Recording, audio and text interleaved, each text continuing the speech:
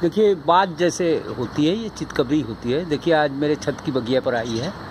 अभी बोल भी रही थी कुछ बहुत कर्कश आवाज़ में बोलती है ये। कोयल आ, मादा कोयल यही है। देखिए ध्यान से देखिए। चितकबरी होती है। देखिए बोल रही है ये। आ, मेरे छत पर लगाए हुए आ, वो गौरैयों को बैठने के लिए जो कृत्रिम पेड़ मैंने लगाया है उसी पर बैठी है ये, देखिए। देखिए, ये मादा कोयल है सब। देखिए गौरैया भी जाके बैठ गई।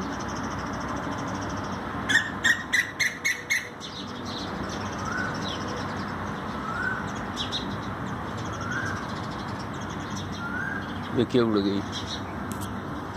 नमस्कार। आज ग्यारह मई 2018 है। देखिए, ये फूल पुष्प मेरे खिले हुए हैं।